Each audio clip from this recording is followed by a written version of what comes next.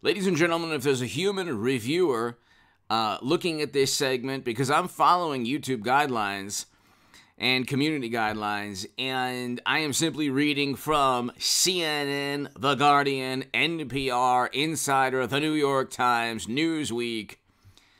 And let's start. Texas, Texas could vote to secede from U.S. in 2023.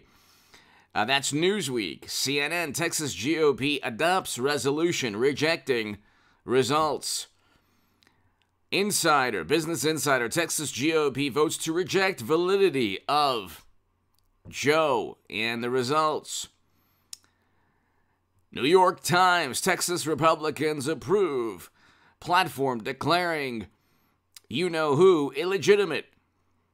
And so let's just explain how we got to this point. And if there's any uh, wonderful liberal Democrats or left leaning people or observers watching this segment, when Trump defeated Clinton in 2016 after Bernie Sanders was cheated in the Democratic primary, when Democrats blamed another country for infiltrating its servers to inform the country that Bernie Sanders was cheated.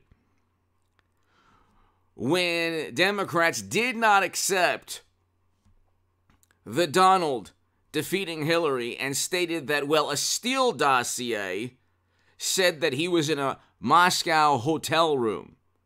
We have to look into this. Comey's memos, the disgruntled rantings of a former government employee stated that Trump asked for loyalty. Oh my God. And what do you think happens in a Democratic administration when somebody isn't loyal? Okay, they're immediately, actually, President Obama actually fired a top general, okay, simply because of a Rolling Stone article. That then there was no evidence that what was stated within the Rolling Stone article actually took place. Okay? So, Democrats demand loyalty. It's just that media media is okay with that.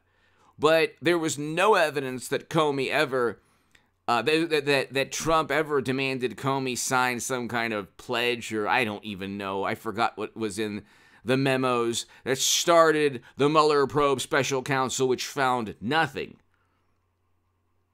You get the ball rolling when you think that Facebook ads and Twitter bots from another country helped install Donald Trump into the Oval Office in 2016. You you you begin this era of not accepting the results when Democrats, Comey, Strzok, McCabe, Clapper, Brennan, CNN, MSNBC, The Washington Post, The New York Times, The Atlantic, New Yorker, New York Magazine, uh, Rolling Stone, Esquire, Vanity Fair, when everyone is celebrating the Steele dossier, when everyone is suspicious of how Trump could have possibly defeated Clinton. Was it Facebook ads? Was it a concerted effort by another country because uh, Trump at that point wasn't as hawkish, but he ended up being even more hawkish than President Obama towards that country.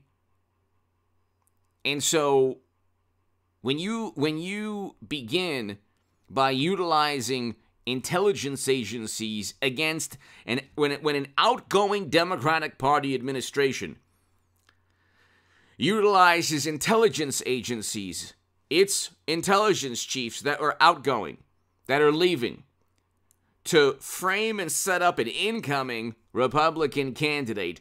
Don't complain when the Texas GOP, six years later, adopts these resolutions. Okay? Don't complain also when Trump is successful at creating or producing suspicion. Okay, Democrats were suspicious of Trump from the day he decided to enter politics until today.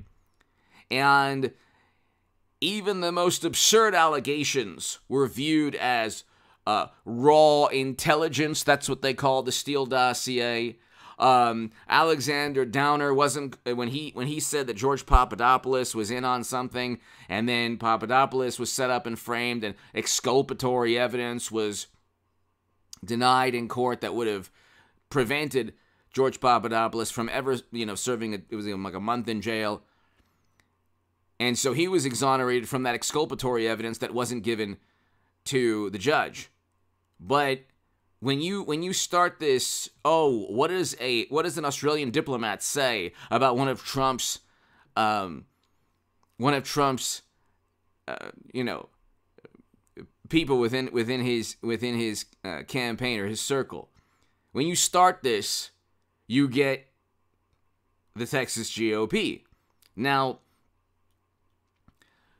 Trump never see the thing is the Washington Post and and and CNN and, and, and Reuters and the Associated Press never phrased or never um, presented or framed stories about the the James Clapper's ODNI report or the DHS report, these intelligence reports, or the Mueller probe, or allegations about Trump and that country that was supposed to have installed him into the Oval Office. They never framed these this suspicion as baseless claims, lies.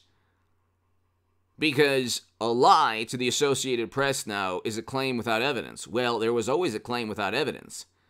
Don't don't don't say an appeal to authority is evidence because there are people in Trump's circle that you could appeal to for him to justify or say, hey, you know what? Speak to this person, speak to that person, speak to this former government official, speak to John Ratcliffe,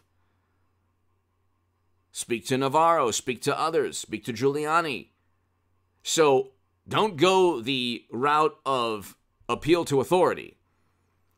But when you when you when you say now that everything Trump says is lies and baseless claims. Baseless. It's a baseless claim. Well, it's based upon uh, suspicion. The Steele dossier, Alexander Downer, um, the ODNI, the DHS report, James Clapper telling Chuck Todd there was no direct evidence of anything, but he still they still investigated 45. And when you have an outgoing Democratic administration leveling intelligence agencies and having all of media serving as complicit, you know, willing participants in setting up and framing an incoming president based on lies and baseless claims. Because when you have James Clapper telling Chuck Todd, there's no evidence, no, there's no direct evidence that Trump, uh, that, that anyone colluded. When you have that, and you had all these people. Mueller time, it's Mueller time, and then Mueller probe ended. It was wah, wah, wah. When you have f- four years of that, don't complain that now you have the Texas GOP not viewing mashed potato brains in the manner you'd like. Okay? And it's very li- they're very likely going to be other Republican state parties doing the same thing. Now I'm following YouTube guidelines. I'm not I'm not addressing the actual claims of 45, like the specific claims. But what I am saying is that when you get the ball rolling, when you get the ball rolling and you start this you level suspicion and you make baseless claims and you legitimize or publicize or justify lies. Okay, the Steele dossier was one great lie. It was a big you know, compilation of lies. When you when when Democrats and media said it was well, it was raw intelligence. It was really raw refuse. You can't have a double standard in terms of suspicion. If you're going to level suspicion as, at Trump, if the standard of suspicion at, uh, towards Trump, if the standard of suspicion utilized against Trump is, well, somebody said he said this, then get ready for the standard of suspicion to be leveled not only against Joe and Hunter and Hillary and everyone else, but they're going to read emails. they're going to read Hunter's emails, the DNC emails, um, the Clinton Foundation emails, all of those things, because they were published. and they show clear pay to play schemes. And if you utilize the standard of suspicion against Trump towards Democrats, it's like far more investigate actually a more justified push for investigations. Anyway, hit subscribe to this channel, ladies and gentlemen. Hit subscribe to the stock market crash channel and the Bitcoin crash channel below. Thank you so very, very much. This is a very, very interesting topic, and I tried to give you a different angle that addresses, you know, YouTube uh, community guidelines. Give me your thoughts below. Hit subscribe right now. Thank you.